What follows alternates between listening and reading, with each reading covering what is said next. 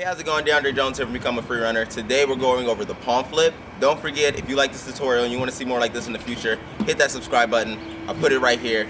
Let's get started. Now the palm flip's really cool because it's unlike any wall trick that you usually see. Usually you see people do wall flips, maybe inward flips, but instead of doing, you know, putting your foot on the wall, going into a back flip, you're just placing your hands on the wall, using that as leverage to propel you in the air and go into the back flip. And although it may look a little bit different than most of your usual wall tricks, it's actually very easy, especially once you get the back tuck down. Now, if you haven't gotten the back tuck, made a tutorial on that. I'll put it right here. And if you need to just get started from ground level, this whole series is meant for anyone to be able to just pick up the backflip and learn how to master it. So you can start with the back handspring. I put the link in the description as well. Now let's go. The only place you really need to practice on is a wall. You want to find a wall that's, you know, brick, grippy, and that can support your weight because you're going to be pushing off into the backflip. Now whenever you get ready to do this, the only real intimidating factor in this is most people are just too afraid to actually go touch the wall and go into the backflip. So even though it'd be a lot lower, I would suggest trying to do it standing. And if you still can't get the confidence, what I've seen some people do is just try to do a back tuck close to the wall. So make sure you're a little bit wider than arm's length and then just go for a back tuck. Now I have to remind you for safety reasons, since it's harder for you to get that swing in, your back flip's gonna be a little bit lower and you might be a little bit more intimidated being close to the wall. But if, you're just afraid of, you know, just touching the wall, it's best just to try to do the back tuck standing near the wall. After that, you're gonna wanna take it one step back and just go into the palm flip. Now let me show you the technique of going into it. So basically, you wanna go off a punch technique. So you wanna go gather your steps together, punch, and jump. And besides setting and swinging your arms, you still, you still set and swing your arms, except the top of your set is gonna end at the wall. And wherever you put your hand on the wall, that's basically how high you're gonna be. So if you jump and your arms are right here in front of you, and you go for the backflip, that is how high your backflip's gonna be. So you're gonna want to jump and place your hands above your head as you go into the flip. Another problem I see with other people doing it is when they jump, they jump and their arms give in, thinking that they have to give in with their arms and then push into the backflip. That's not necessarily the case. Yes, you do wanna push, but when you jump into it, you kind of want to have your arms almost as stiff as possible, maybe with like a slight bend, just enough to rebound off the wall. Now this might hurt your palm a little bit, but you're, you're gonna feel like a little bit of like a, a push, and you're gonna just try to resist that push against the wall.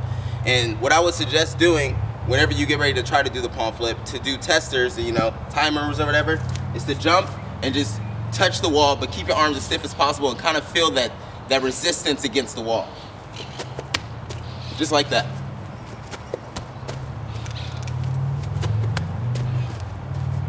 Now for a lot of you, you'll start jumping, resisting against the wall, and you'll feel your body almost lean back. And you'll kind of like, some people like they even fall, land on their heels, they fall on the ground, just, just from so much power. And that's where the momentum comes from. It comes from that resistance against the wall, except for whenever your body resists and you start to lean back, you go into that tuck. Another key element to the palm flip is figuring out how close you want to be before you actually jump. Just like what we did in the back tuck, when I said your arms are slightly uh, further away from the wall than arms reach, that's where you want to jump. You want to jump into the wall from that angle. If you jump too close, you're not going to give your arms enough room to make that, you know, that stiff lock motion. You won't be able to get that resistance from the wall. And if you jump too far, you'll be reaching for the wall and not resisting off of it to do the backflip. With all those key elements in mind, you're ready to start the palm flip. And like I said, if you're afraid to touch the wall, you wanna stand slightly like further than arm's length, go into a back tuck. After you got comfortable with that, you wanna take one step back and work on punching and just throwing your arms into the wall and resisting. Whenever you jump and you feel that tug and you start to lean back, whenever you feel comfortable, you wanna jump, resist against the wall, lean back, and that is your set. From that point, you bring your knees to your chest, and it's just like a back tuck, okay? And I wanna give you guys a demonstration. So, set, arms slightly further than the wall, go for a back tuck. Boom. After that, okay, you're gonna step where you were when you did the back tuck. You're gonna take one step back, work on your punching technique.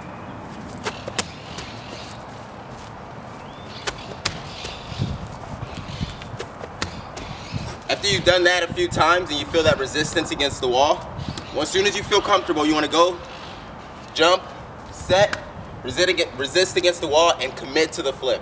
The most important thing to do whenever you're going for any type of flip is no matter what happens to commit to that rotation. If you try to stop yourself mid-air, that's when you hurt yourself. So let me give you an example.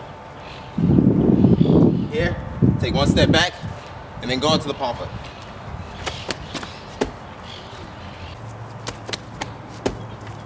Like I said before, doing a palm flip with just one step into it is going to make your palm flip not as high and not as clean as you want it to be, but it'll get you over the fear of going to that palm flip.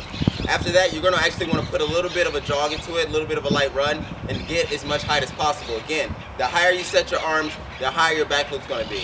And the higher your back flip's going to be, the safer you are with landing. So you want to actually take a couple steps back. You don't need a run, just a slight jog into it, and you, you do the exact same thing. As you see yourself getting closer to the wall, punch, jump, resist against the wall. Whenever you feel that pull to go backwards, you go into the back flip.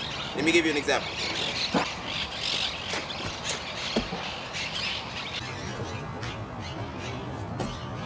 Okay, so that'll be the palm flip tutorial. Super quick, super easy. Shouldn't take you that long to get. Just make sure you have your basics down. You have at least a back handspring or a back tuck, and you're comfortable going over your head.